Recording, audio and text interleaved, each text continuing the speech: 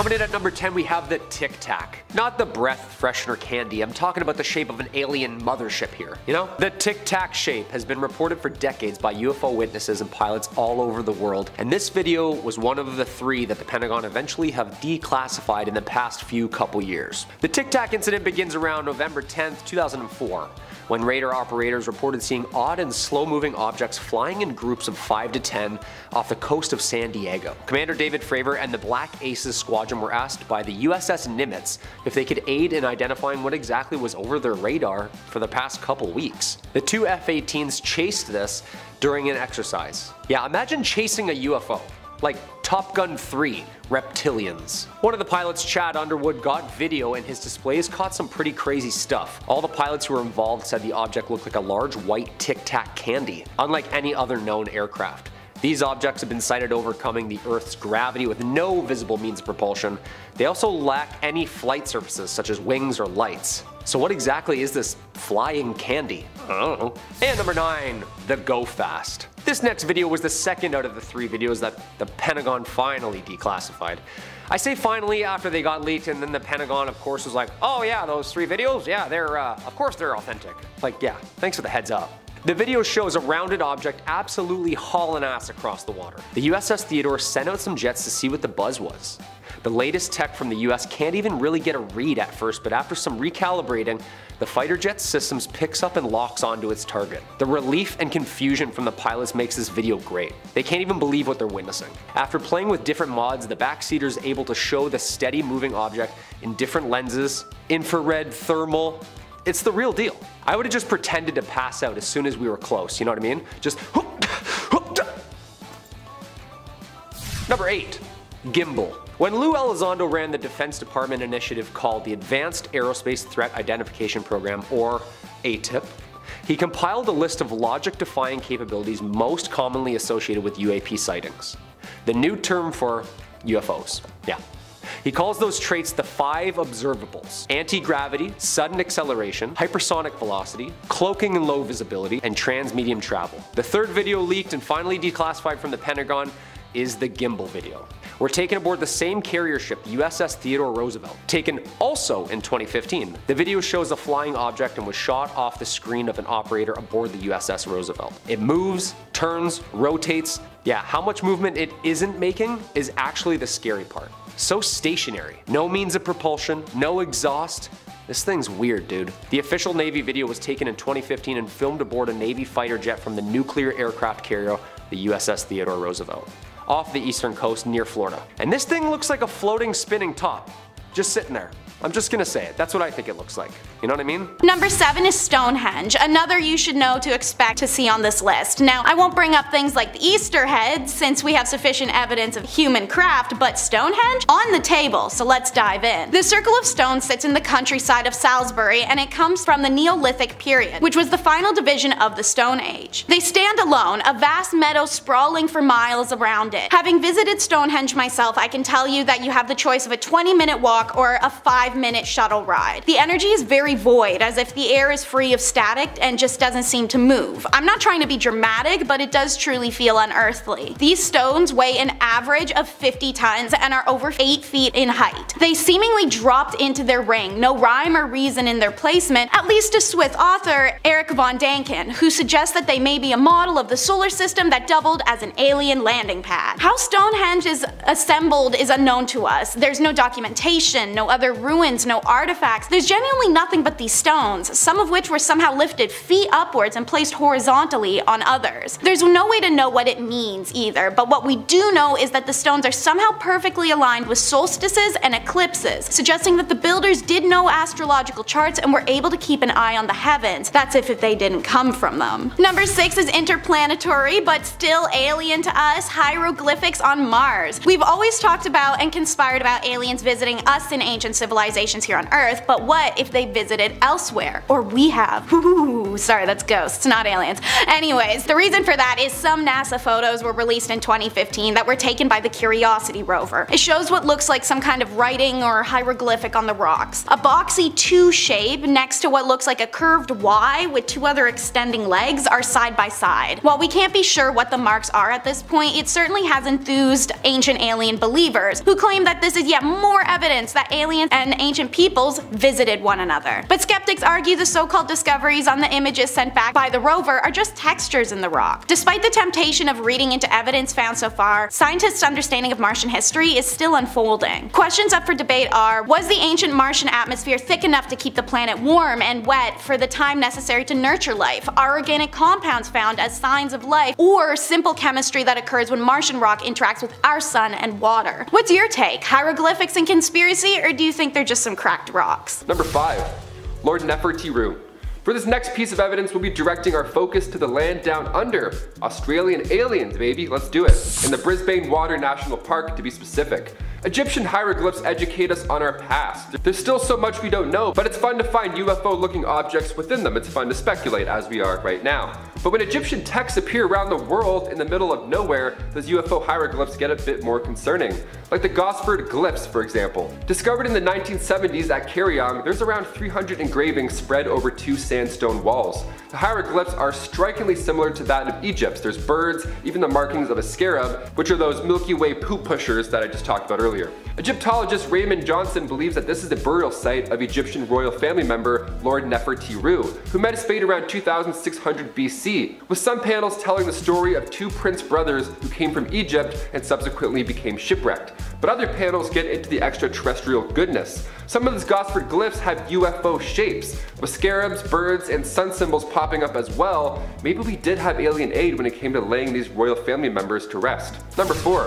Userkaf. Remember earlier when I was talking about those extremely heavy granite coffins? Well, the Sun Temple in Egypt may give us more alien clues as to their purpose. Discovered in 1842, this was the base of a giant monument that apparently used to stand over 150 feet tall. Built by the pharaoh Userkaf, founder of the 5th dynasty of Egypt, the temple translates to stronghold of Ra, Ra being the sun god. This temple at Abu Gharaib was home to one of the world's largest monoliths, and its purpose may blow your mind.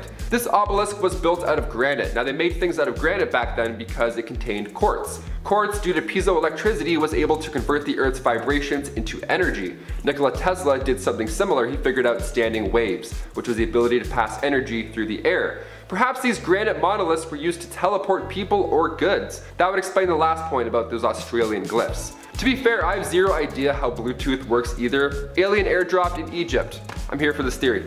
Number 3. Khufu. In order to become a god in the afterlife, these kings would build massive temples or pyramids. The Giza pyramids were built over 4,500 years ago and to this day they draw in about 15 million visitors a year. Pharaoh Khufu's is the largest pyramid in Giza and it was the first pyramid that they started to build, obviously taking the longest.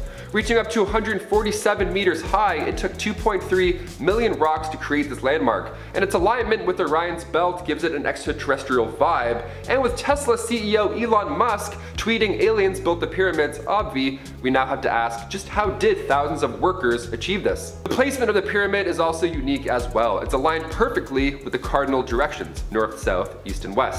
That much accuracy back then with the stars and the earth and the heavens, they must have gotten help from alien friends or else they had the world's biggest protractor. Number 2.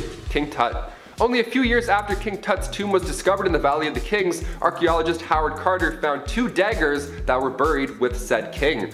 It's not uncommon to be buried with your goods. It's why Egyptians would build these tombs in a certain way, so that grave robbers wouldn't snoop around and steal your entire family heritage. It was made so nothing could get out, which is insane. But two daggers were found with King Tut, one made of iron and the other gold. Now with iron being even more rare than gold in the Bronze Age, this was a big deal. And with recent advancements in technology, we were able to use a technique called portable X-ray fluorescence spectrometry, and according to the journal Meteoritics in the Planetary Science, the blade is actually made of iron, nickel, and cobalt, suggesting that this material is of extraterrestrial origin.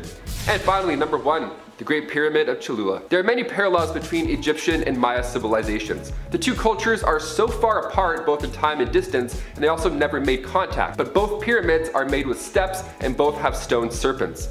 The vault arches are also strikingly similar and hieroglyphs within share a lot of the same symbolism.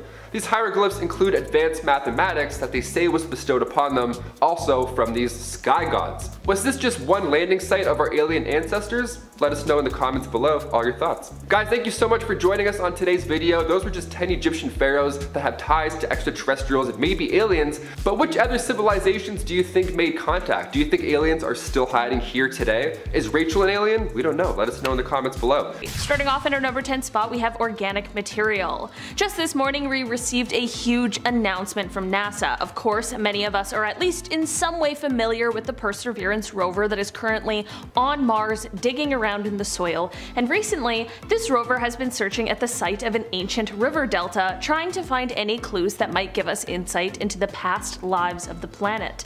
Well, that sweet little rover has made its most important discovery to date.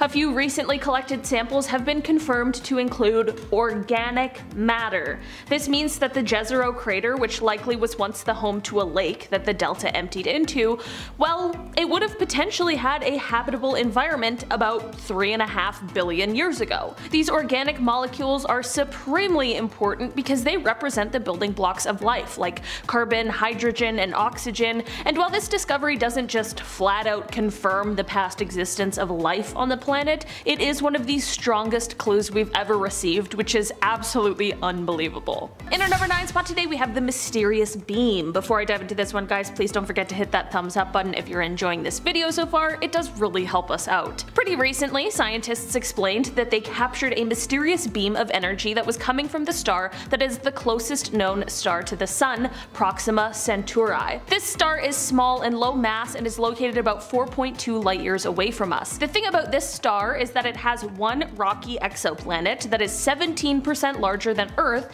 in its habitable zone, which would make liquid water a possibility on the planet. This planet's habitability has been disputed throughout the years, but this signal could be a sign that it may be even more habitable than any of us know. Scientists explained that the signal shifted while it was being observed, which mimicked the shift caused by the movement of a planet. They're taking extra precautions to figure out what exactly caused this shift in case it was some sort of a mundane source, but it will of course take some time to figure out, but it's all very exciting. In our number 8 spot today we have Europa. One of Jupiter's moons called Europa has a red tinge to it and in 2001 NASA scientists revealed that it's possible that alien microbes microbes might be responsible for this red color. The surface of this moon is mostly ice, but it has been shown that it reflects infrared radiation in a really bizarre way. This means that something is binding it together, but researchers haven't been able to come up with the correct combination of elements and compounds to make the data that they have make sense. There are some bacteria on Earth that can thrive in extreme conditions, and that also have that red and brown color which could potentially be responsible for the color on this moon. The surface temperature might be too cold for them to survive, but the warmer interior might be where they are located. Some geological activity on the moon could then push them closer to the surface where they are then flash frozen in place. Number 7. Djoser. For this one, we're looking into some bull worshipping, so grab your red scarves and start waving them around. Just north of the step pyramid of the Pharaoh Djoser, archaeologist Auguste Mariette discovered this site in 1851. The Serapeum is a temple dedicated to the Egyptian deity Serapis, a combination of Osiris and Apis in human form. Now this was a large burial ground for the Apis bulls. They were basically these bulls that were said to be sacred, and after their death, they would become immortal. Remember that, that's important. Today at Saqqara, there's this massive vault. It's 382 yards long and it's carved out of sandstone bedrock. It's massive and along the sides of them are 24 chambers, each with sarcophagus carved out of a single chunk of granite. Now inside these boxes were animal remains, just bones and all. But back then in those times, you weren't allowed to break up any bodies. That was a no-go. You had to mummify them. So how are these tombs built, first of all, so perfectly, weighing over 80 tons, and where do these bones come from? Perhaps these are the remains of the Apis bull. After all, that's the inspiration for the Minotaurs, so maybe alien ancestors looked a lot more jacked than we may think. Number 6. Dung beetles. This one isn't exactly a pharaoh at all, but it's too good to leave out, especially if we're talking about aliens here. It's important. Dung beetles, also known as scarabs, are the only species in the entire world that follows the Milky Way. Think about that for a second. That is Let's talk about it. Some animals follow the sun. You know, turtles sprint to the ocean the second they're born to avoid getting plucked up by birds. Now these insects would follow the line of the Milky Way and then roll their towards it. Literally, their, their poop, they would roll it towards the skies, which is insane. Symbols of these beetles are seen all over, either in hieroglyphics or even in movies, their presence is known. Near the sacred lake at the Temple of Karnak, there's a massive scarab monument. And there's even a legend still to this day behind said statue that if you walk around it nine times, you would find health, wealth, and love. And you'd also probably be a little bit dizzy. The scarab is there to represent the god Khepri, which at the time Egyptians believed was the sun as well. Also known as the scarab-faced god, which terrifying when you imagine that. Are these bugs just trying to get home into space to their bug alien master? Why does he need so much poop? Whatever DIY project they're working on in the Milky Way probably doesn't smell too good. In our number 5 spot today we have Enceladus. Enceladus used to be thought of as basically just an icy snowball floating around in space, or as a small moon of Saturn with a diameter of 502 kilometers, but as it turns out, this small moon might hold some pretty amazing potential. It was discovered that this moon has hydrothermal processes going on underneath its crust. To us non-scientists that means almost next to nothing, but what if I said that that means that it just might have all of the requirements for life, and that it is becoming a greater possibility that we might find microbial life there. Basically, this moon has an icy shell for a surface and then a rocky interior, but between these two layers is a warm ocean, and this ocean is where scientists think life is most likely to be. This discovery came almost accidentally when the Cassini orbiter arrived to Saturn in 2005 and it found water plumes shooting out of the cracks in the surface of this moon, which made scientists realize that it just may be geologically active. Through more research and by flying the orbiter through the water, by the time 2015 rolled around, scientists knew that it was holding all of the keys to life. While this little moon was never the original focus of research, it quickly took over with its incredibly exciting potential. In our number 4 spot today we have light shifts. In the latter half of 2015, a Penn State astronomer named Jason Wright explained that there were pretty erratic and spontaneous shifts in light that was coming from a newly discovered star. The star sits about 1,280 light years away from us on Earth, and these shifts were very similar to as if something was passing in front of our view of the star briefly before passing through. Scientists weren't able to connect this to any exoplanets or anything like that, which we could understand, and this is what led Jason to quite an interesting theory. He stated that it is possible that the shifts are caused by massive objects passing in front of the star in a kind of orbit, like an array of massive satellites or a similar kind of structure, like the type of thing that would be produced by an intelligent and civilized life form. Again, like many things, it's just a theory, but a very compelling one at that. In our number 3 spot today we have the UFO footage. Remember during the pandemic when there was that footage from the Navy that went viral where it captured some kind of UFO but we didn't really have the time to freak out because we were all just like watching Tiger King and wondering what the hell was going on and when we could go outside again? Well, let's freak out about it now because what the heck was captured on those videos? The US Navy released footage a few years ago where they had captured video of some sort of wingless aircraft that was traveling at hypersonic speeds. Of course, people are wary to believe that this is a true sign of alien life and alien visitors, but the thing is, we simply just don't really know what it is. We know it's not something that is known to us yet, so this definitely could be a sign of some sort of alien life. I guess we'll just have to wait and see. But hey, if the Navy's worried, so am I. Number 2. Spain. This next one, yeah, I, I don't know if it's real or not. I thought the Scorpion King with the rock was real. Yeah, the latest CGI, you know?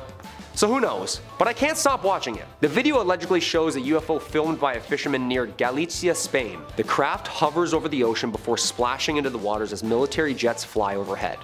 We see two fighter jets whiz by this fishing ship, apparently following this craft. There isn't any official info surrounding this video, I just felt like it's pretty modern and shows some F-18s and the speeds that they fly at, you know? The fishermen film a 42 second video showing what I guess would be the Spanish military chasing a UFO accompanied by an unmarked blacked out chopper before slamming down into the water. If we use Elizondo's 5 observables and apply them to this video, we see low visibility, hypersonic speeds, and transmedium travel. The more I watch, it's gotta be fake, but after listening to all the fighter pilots talk about chasing these things literally into the water, it's got me thinking. I don't know. What do you think? And number one, the Aguadilla Airport. This is probably my favorite UFO video. The longest, clearest, and most puzzling. The incident took place in 2013 in Aguadilla, Puerto Rico. Scientists who've analyzed thermal images of a flying object recorded in Puerto Rico are still trying to figure out what could have done this. A team of analysts working with the SCU, which is the Scientific Coalition for UAP Studies, a private group of scientists, military analysts, and investigators, produced a report analyzing this incident. It's a comprehensive stew of thermal, visual, and sensor data related to an unusual series of events in and around the Aguadilla Puerto Rican airport. Yeah, they were experiencing a couple weeks of these things. This thing's just trucking steadily, splits into two, turns directions. Safe to say this video does a great job of showing Lou's 5 observables. What do you think? Are these crafts being piloted by the way, or are they being remote controlled? Either or, that's absolutely terrifying.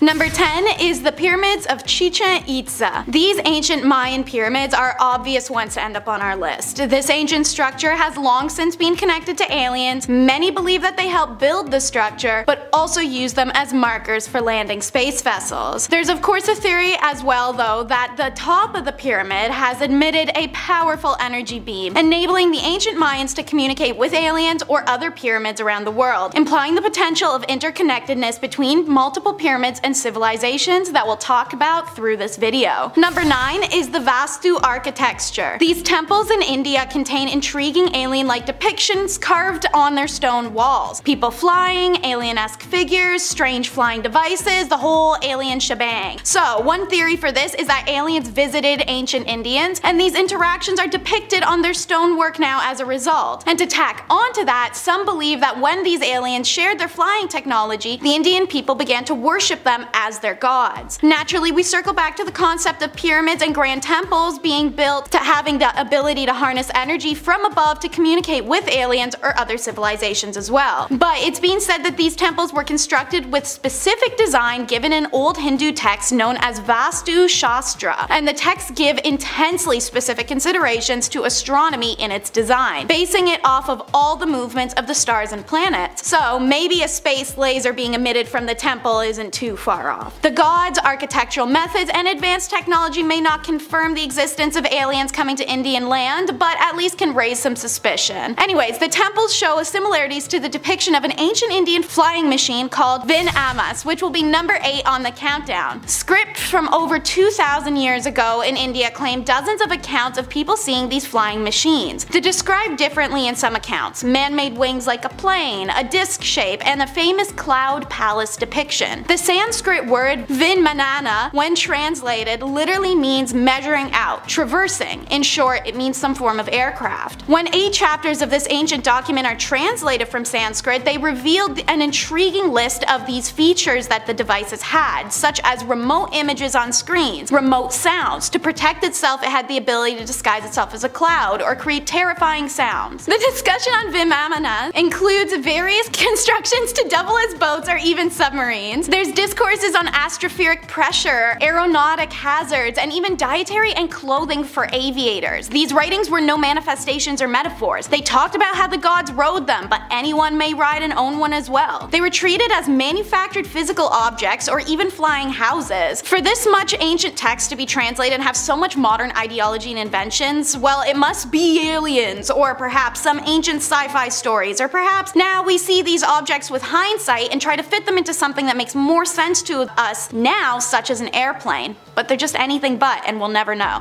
Swarm Splash. We now have two videos taken from military personnel from apparently the same incident. Isn't that interesting? Makes it realer and realer, doesn't it? The radar footage released by Jeremy Corbell shows multiple objects popping up and around the Navy's USS Omaha from an incident in July 2019. The ship was about 125 miles off the coast of San Diego when the footage was recorded. Radar shows the USS Omaha absolutely being swarmed by 14 UFOs. In the same incident, that a spherical aircraft was filmed disappearing into the Pacific Ocean. Okay, this is getting scary now. Same ship, two vids, same time. The radar shows the blips hovering around the ship, not really doing anything. Also, imagine 14 unidentified aircrafts above a US warship. It would be game over, like boom boom boom dude out of the sky. But instead, we're just left with the videos, scratching our heads, in awe. Then the thing splashes into the water, showing transmedium travel. You can hear the operator say mark bearing and range, so they were clocking these things. This has unlocked a new fear of mine. Yeah, water. Jaws has nothing on me now. Number 6. Pyramids. The video and photos of this next encounter were originally shared at the Office of Naval Intelligence briefing on May 1st, 2020, and later leaked to Jeremy Corbell, filmmaker and ufologist. For those of you who don't know Jeremy, like he's like our guy. He's pushing the boundaries, he's putting pressure on officials, he's a filmmaker and an avid UFOer like me. And he's got his hands in some pretty, pretty deep pockets. I'm just as puzzled with this video as you are. Green pyramids? Pulsing? The leaked video of flashing triangle shaped objects that flew over a US warship is the real deal, the Pentagon said. After UFO investigators released the video and other puzzling photos online. Shot through night vision from the ship itself, the Pentagon confirmed in a statement that the leaked photos and videos were captured by official US Navy. Though it's declined to label them as UAPs. Ah. Quote, I can confirm that the referenced photos and videos were taken by Navy personnel, Pentagon spokesperson Susan Gough said in a statement. Okay, so they're real, but what are they? Is this what the Egyptians base theirs off of? I don't know, what do you think? Up next is the City of the Gods number 5. Teotihuacan is its actual name. This sprawling ancient city in Mexico is known best for its astronomically aligned buildings and complex pyramid temples. Their building was dated back 2,000 years and scientists have suspected a mixture of cultures including Mayan, Zapotec, and Mixtec built the city so that they could house more than 100,000 people. They adorned it with murals and they had a transportation system. Evidence shows advanced agricultural practices that earned the city a reputation of being much more technologically developed than should be possible in pre-Aztec Mexico. So naturally that brings us to the ideology of aliens, especially as the most massive temple, the Pyramid of the Sun, which is one of the largest constructions in the western hemisphere. It's also been noted that the alignment of the pyramids is based on calendar cycles. Many people believe that the flat top pyramid served as a landing pad where the alien secrets lay inside the impenetrable walls. In 2003 though, a sinkhole caused by a flood led to the discovery of the Avenue of the Dead tunnel connecting connecting the Sun Temple with the Temple of the Plumed Serpent. People believe that this connection correlates with rituals and contacts shared between civilizations and aliens, these tunnels being used to transport sacrifice or make passage between the communication stations easier. Its name was given to it by the Aztecs when its deserted ruins were discovered sometime in the 1300s. It had already been abandoned for centuries at this point. When the name's translated, it means the place where men become gods, and why they chose to name it that, we're unsure. When the Aztecs found it, there was likely a great amount of discernible history available in contrast to today's standards. Perhaps they saw writings and stories that we didn't, something to make them believe in godly powers of the temples or the peoples. We know frustratingly little about this mysterious society from the conditions of its rise to the circumstances of its collapse to its actual name. The Delphi site of Greece is number 4. Alien theorists love to use Greeks as a basis for their theories. This is because of the possibility of life beyond Earth is one that began in ancient Greece world, originating at least as far back as the 4th century BC when ancient Greek society had schools of thought that speculated extraterrestrial life. One of the favorite examples is Delphi, Greece, where the stone masonry is eerily similar to that of Sacsayhuaman in Peru, which is believed to be a site of alien intervention. This was also the famous site of the Oracle of Delphi, a prophetic woman who would reside in the temple of Parnassus. She was rumored to have sat on a golden tripod over a fissure in limestone where she could breathe in the breath of Apollo and communicate with invisible forces. What she was breathing in, we aren't sure. According to toxologist Henry Spiller, both of the ways an oracle's vision would occur, either peaceful and slow or erratic and barely legible, are symptoms associated with inhalation of hydrocarbon gases, aka she could have just been zooted. But with the architecture as a star, alienologists jumped to say that this perhaps too could have truly been alien communication. The oracle was said to be possessed by Apollo in order to be asked prophetic questions about upcoming war, political actions, theories of life, and more. What if it wasn't Apollo, but rather she was channeling alien messages through an unconscious state that the fissure had been a beam of alien power going into her. Maybe that explains why Delphi, Greece is considered one of the three major UFO sighting hotbeds in Greece. In fact, on June 3rd of 2012, this picture was taken and posted on a UFO forum claiming the image to contain a UFO. What do you think, faux or fact? It's Caral Supe at number 3. And despite its significance now, the importance of this site wasn't determined until decades after its discovery. Hilariously, this is because of the sheer size and complexity complexity of it deceived scholars, and many believe that the site was more recent, so they left it largely ignored. It's in 1994 Ruth Shady was studying the site, she realized the lack of pottery wasn't because of the recency, the site was just dated before the advent of pot firing technology. Radiocarbon dating on some of the woven bags found inside the pyramid confirmed that Caral Supe were the locus of some of the earliest population concentrations and corporate architecture in South America, dating somewhere around 2600 BC, which upended history's well-established timeline, pushing it back 4600 or more years. Now since then, other Norte Chico sites have been found that date several hundred years earlier, but at the same time Caral Supe was being built, so was the ziggurats in Mesopotamia and the step pyramids of Egypt, all incredibly similar structures. Ancient astronaut theorists believed that they could be profoundly connected, especially following the theory of ancient buildings such as these that tend to average around the 4500 age range. Number 2. Lost in Space. During the 60s, the space race was on between the Americans and the Russians. Like a good old hockey game, huh? Those two, always at it. The first to figure out what it is to put something or someone up in a little metal box. It was actually the Soviets that secured many of the early victories. While NASA's efforts were widely publicized, of course, sometimes the Soviets made it a point to never announce a mission until days after it was completed, and of course, successful. This allowed them to maintain control over information. Enter stage right, the Judica Cordiglia brothers from Italy. Former amateur radio operators who apparently caught Russian audio recordings which allegedly proves the Soviets covered up cosmonauts' failed missions in the early 1960s. Apparently she's saying, help, help, I feel hot, am I going to crash? Uh, yo, that is absolutely horrifying. If this is the real deal and the Soviets sent a woman into space that maybe didn't come back, this proves that whatever happens in space, stays in space. We're only told what we're supposed to hear. Number 1. Buzz Aldrin. American astronaut, engineer, fighter pilot with a Doctor of Science in Astronautics. This guy is overqualified. Three spacewalks in 1966, Gemini 12 mission. As the lunar module Eagle pilot on the 1969 Apollo 11 mission, he and mission commander Neil Armstrong were the first two to land on the moon. There was something out there, close enough to be observed and what it could be, according to Aldrin on Apollo 11 to the moon, he observed a light out of the window that appeared to be moving alongside them. But what could it have been other than another spacecraft from another country or maybe even another world. It was either the rocket that had separated from us, or the four panels that moved away when we extracted the lander. After he returned home from his missions, he was convinced that he saw aliens while he was out there. Credentials aside, Guy took a lie detector test, which he passed with flying colors. In an interview with C-SPAN, Buzz talked about the future potential of the Earth's moon for humanity. He added a little extra info that might have ignited the spark to go back, regarding a certain monolith on the moon. Quote, visit the moon Phobos of Mars. There's a monolith there, a very unusual structure on this little potato object that goes around the moon once every seven hours. When people find out about that, they're gonna say, who put that there?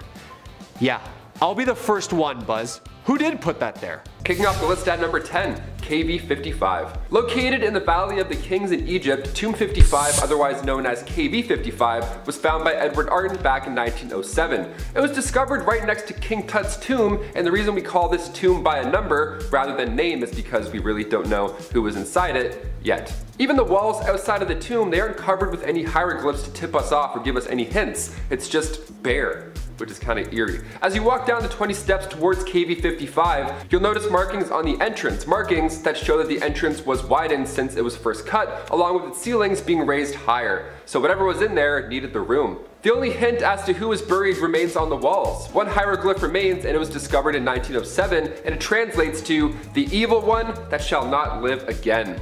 Even these massive stones were built in order to prevent anything from getting out. See, usually with these ancient tombs, it's the opposite. The description for who's inside the tomb had also been destroyed. So we have no idea who or what is in KV55. Number 9. King Teti. The Pyramid of Teti was built for the first ruler of the 6th dynasty, and while it's not flashy or massive as these other pyramids, the insides contain the oldest writing in the religious world. Pretty insane. Now these texts go back to 2400 BC, way back when we used, you know, BBM. The pyramid texts were specifically written so that this King Teti could ascend to the heavens after his death. There are spells and incantations meant to free the king's soul and arrive in the cosmos. More specifically, for Teti to become a star in the sky and then join Osiris and Orion in the God Squad. There's even instructions on how to preserve the body and travel to said heavens. World's oldest instruction manual for the win. Number 8. Queen Nefertiti. After a scan was done on King Tut's tomb, there were cracks found on the north and earth walls. East, Taylor, east, not earth. There were cracks found on the north and east side walls, so we believe that this is a secret passageway to Queen Nefertiti, the ruler during the 14th century BC, and also wife to King Tut. Queen Nefertiti's parents are also still unknown to this day, so that adds to it. And with ancient texts depicting that these kings and queens would leave Earth and then later return, perhaps they are both descendants of extraterrestrials, and this flying sun disk that they worshipped was not the sun, but rather a winged alien ancestor. In our number 7 spot today, we have cyanobacteria. For around two decades, Dr. Richard Hoover has been studying meteorites that were found in Antarctica, and in 2011, he claimed that he and his team had found evidence of ancient bacteria from colonies that thrived on comets, moons, and other planets. The astrobiologist said they were able to make this discovery through the use of the most advanced microscanning technology in the entire world. Dr. Hoover sliced open these meteorites and discovered what they call the remains of cyanobacteria, also known as blue-green algae. This type of algae is said to have a unique quality and the ability to thrive even in some of the harshest conditions, which is necessary when talking about surviving the extreme environment that some other planets hold, as well as just space in general. Dr. Hoover said that while some of the bacteria he had found was similar to those on on Earth, he also said that some of the others were completely alien. He said, quote, neither I nor other experts who have seen the evidence have any idea what these creatures might be. I believe these findings indicate that life is not restricted to Earth, but is broadly distributed, even outside our solar system. In our number 6 spot today we have the radiation-proof bacteria. In 2002, Russian astrobiologists hypothesized that a bacteria here on Earth may have actually evolved on Mars.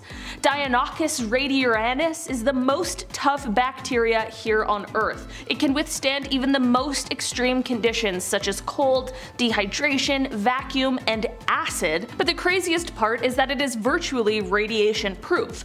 These little microbes can withstand several thousand times the amount of radiation a human can withstand, as well as more radiation than any other bacteria on Earth. You can even find this bacteria on the inside of a nuclear reactor. That's how radiation proof it is. Scientists did an experiment to see how quickly this bacteria could build up a stronger radiation resistance by zapping it with enough radiation to kill 99.9% of it, and then leaving the remaining 0.0% to repopulate before zapping it again and just repeating the process. It was concluded that it would have taken E. coli thousands and thousands of rounds to build up the same resistance that this hardy bacteria did in only 44 rounds. With this experiment and based on the dose of radiation they gave each bacteria, it would take millions and millions of years to get even close to the amount of radiation they gave this bacteria in one cycle.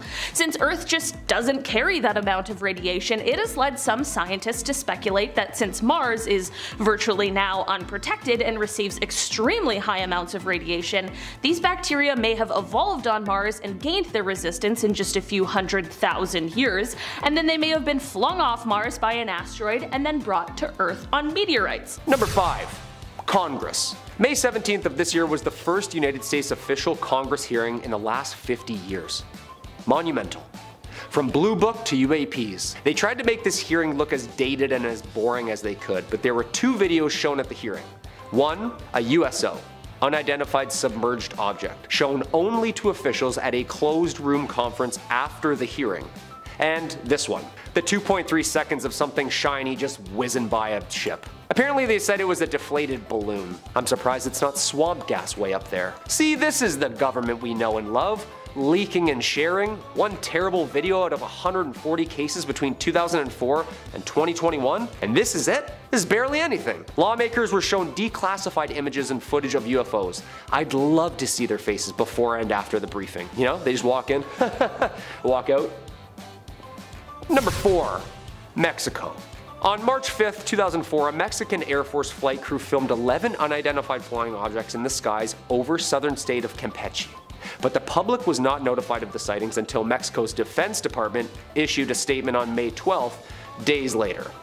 Of course, I get it. You gotta come up with an excuse, we get it. A press release was accompanied by a videotape that showed some bright objects resembling orbs of light moving quickly on an evening cloudy sky. The lights were actually extreme heat sources filmed by the crew using infrared technology during a surveillance mission in search of drug smuggling planes.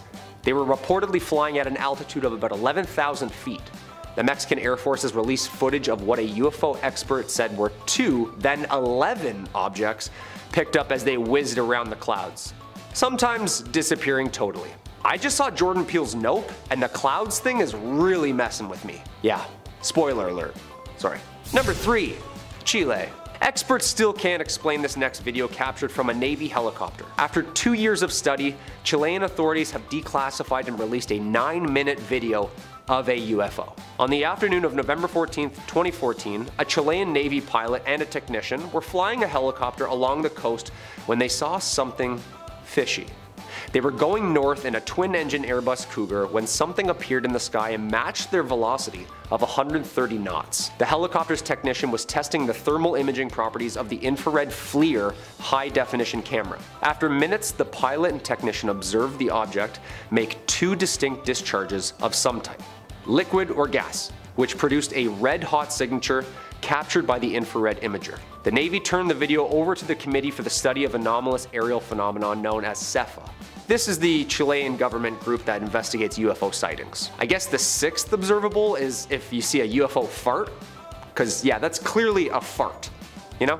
In our number 2 spot today we have the bacterial experiment. On Earth, most living creatures require oxygen to live, but the problem with a lot of planets is that there's far more hydrogen and helium. Last year, scientists decided to take two different bacteria, one was E. coli, which can be found in the guts of humans, and ordinary yeast, which is used in things like bread and beer. With these two bacteria, they tried to see if they could live in different environments. When placed within flasks that contained either pure hydrogen or pure helium, they still managed to grow, just at a slower pace. This evidence goes to show that there might be living organisms that we haven't found yet because we are looking in the wrong places. In our number one spot today we have the Venus Cloud. Last year in September of 2020, astrobiologists everywhere were excited and skeptical of some new potential evidence that had been found in the upper clouds of Venus. Firstly, can we just take a second to really think about how cool of a job an astrobiologist has? Anyway, the new findings were pointing to the potential of the presence of phosphine in these clouds. Phosphine is rare and usually a poisonous gas that on Earth is basically always met with the presence of living organisms. Venus hasn't really been the top of the list of choices for finding potential life due to its surface temperature and pressure in the sulfuric acid clouds, but this evidence could prove to say something otherwise. Two separate telescopes were able to pick up the signatures of phosphine in a cloud that had a similar temperature and pressure to Earth, and while this isn't concrete evidence of space bugs, it will at least be a reminder that we should continue looking for life even in the most unlikely places.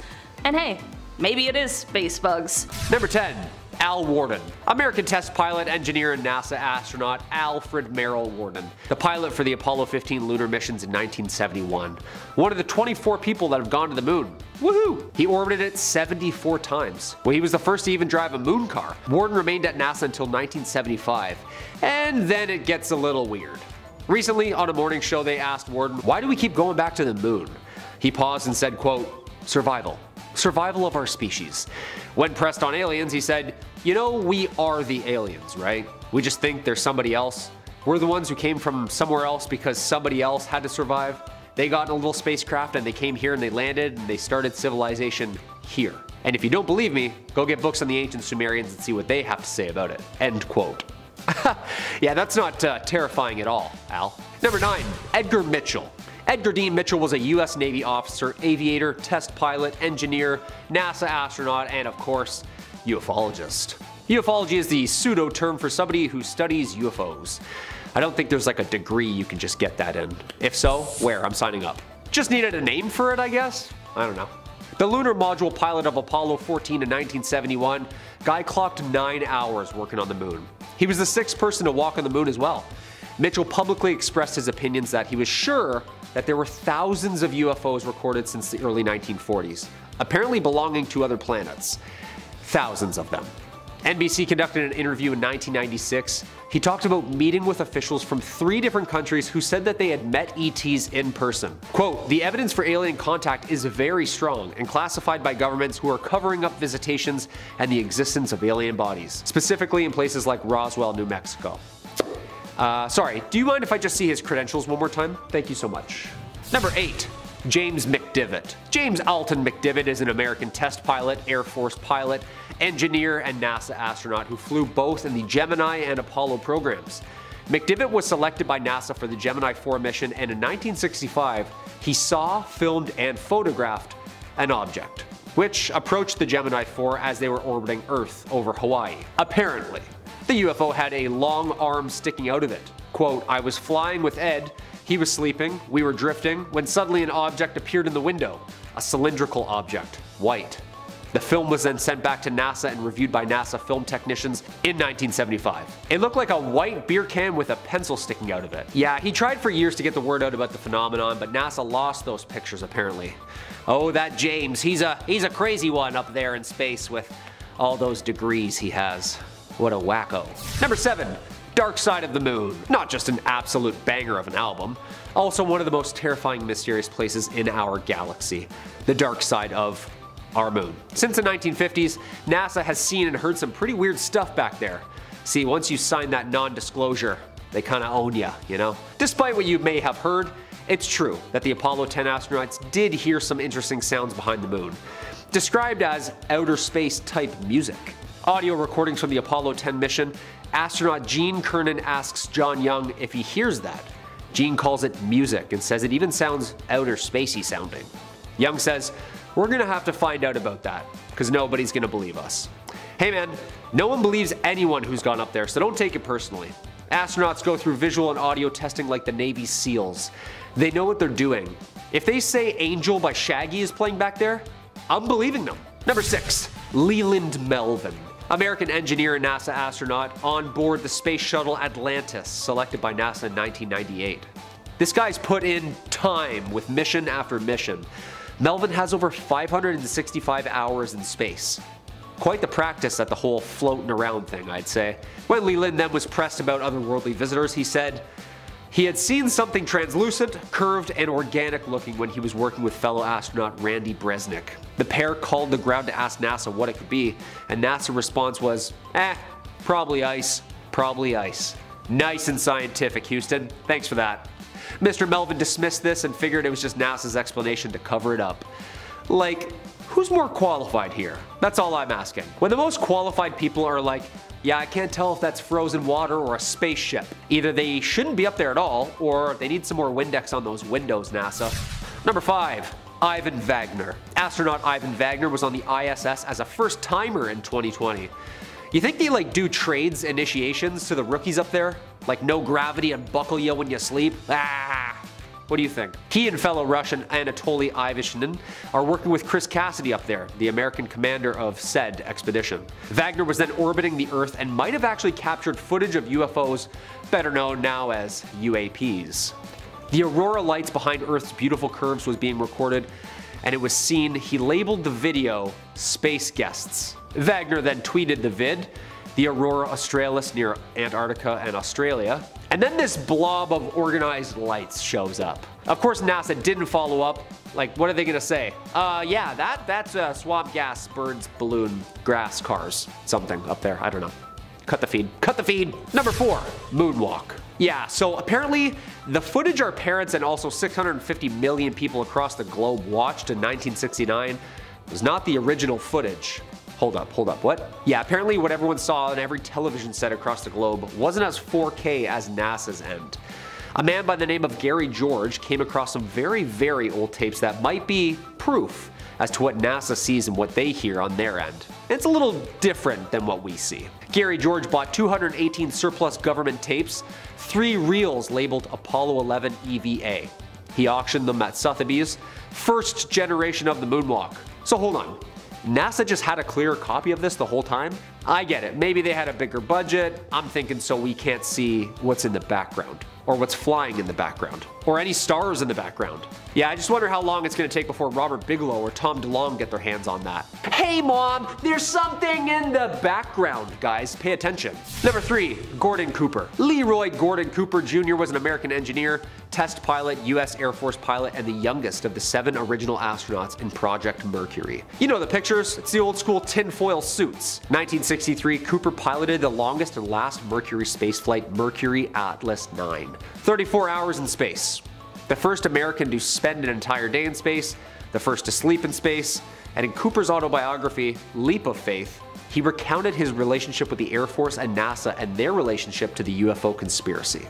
Cooper claimed to see his first UFO while flying over Germany. He said that there were hundreds of reports made by pilots, many coming from military on radar. In 1978, he even testified before the United Nations on the topic.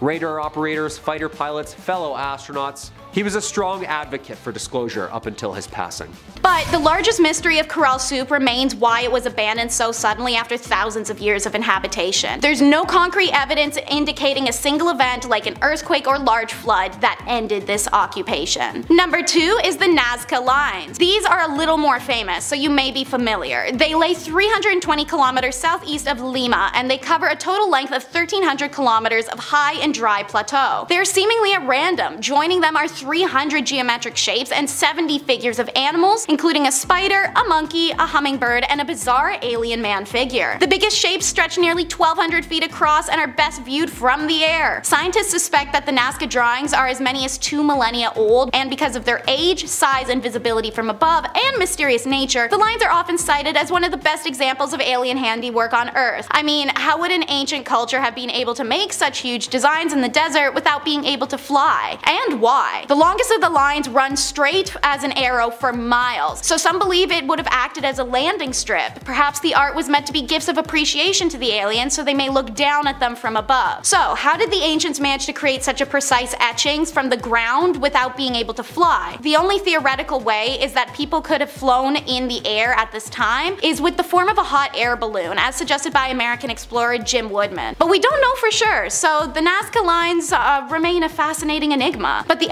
explanation for how the Nazca lines were physically created is quite simple. They're called geoglyphs. These enigmatic designs are made by removing the top rust-colored layer of rocks and exposing the bright white sand underneath. And for number one, let's investigate the Sardinian giant. The Mediterranean's most important archaeological discovery of the 20th century was a complete accident and also unearthed a creepy conspiracy. When farmers are plowing their fields in 1974 in central Cabras, they hit something. That something turned out to be 5,000 fragments that underwent a painstaking and lengthy reconstruction process to form gigantic statues. 16 boxers, 6 archers, and 6 warriors, this colossal army of 26 statues has a height of 8 feet 2 inches and weigh an average of 880 pounds each. Each figure was carved from one limestone block alone. They have highly stylized features such as triangular faces, T-shaped eyebrows and noses, and their most distinctive features are their eyes. They're represented by large round circles that stare straight ahead and right into your soul. I imagine if they weren't built to to be intimidating, they were anyways. Every photo I've seen feels like they see through you. This is one of the aspects that give the statues an alien look, fueling alternative theories about the ancient astronauts. What is certain is that the giants are surrounded by an aura of legend since their discovery, as they belong to the mysterious Nuragic civilization, which very little is known of. The lands of Sardinia are also dotted with their tombs, which are called tombs of giants. Why? Because they're huge! The burial chambers are 65 to 98 feet in length and 7 to 10 feet deep, and according According to the various inhabitants of nearby cities, very large bones were found in the countryside surrounding their village. Some claim that they belong to men up to 11 feet tall. Legendary painter Muscus himself found the remains of a giant skeleton in a cave in 1972, when he was still a child and made one of these claims himself. Interviewed repeatedly by journalists, locals stand by that any giant skeletons that have shown up or been shown to authorities or the experts when they are found almost always disappeared into thin air the next day. Sometimes so did the find her.